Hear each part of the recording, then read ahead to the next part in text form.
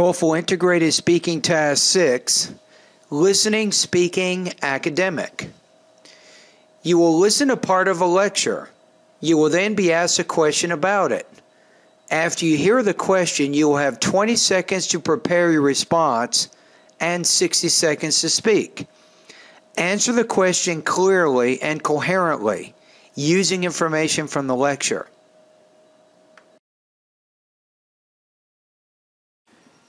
Listen to the passage. On a piece of paper, take notes on the main points of the listening passage. Glaciers can only form in polar regions or high mountains. This is because in those areas, summer does not get hot enough to melt all the snow. The glaciers will not be any more than a 30 degree angle on the bottom. If the snow ice mixture is at more of an angle than that, then it will fall as an avalanche, which means it'll crumble and separate. A glacier is only considered a glacier after it has begun moving. Let's talk about the formation of a glacier. Glaciers begin to form when snow remains in the same area year round, where enough snow accumulates to transform into ice. Each year, new layers of snow bury and compress the previous layers. This compression forces the snow to recrystallize, forming grains similar in size and shape to grains of sugar. Gradually, the grains grow larger and the air pockets between the grains get smaller, causing the snow to slowly compact and increase in density. After about two winters, the snow turns into firn, an intermediate state between snow and glacier ice.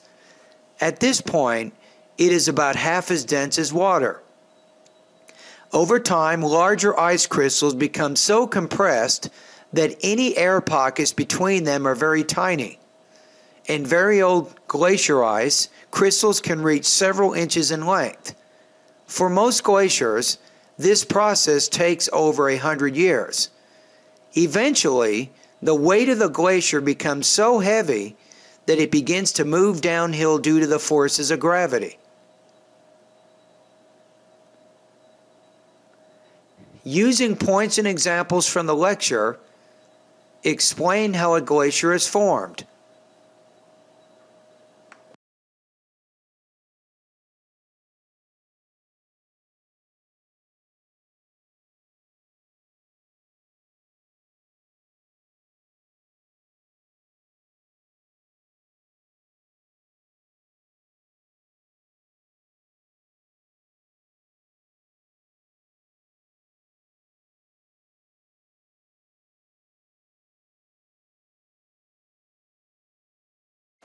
Pause the video to record your response.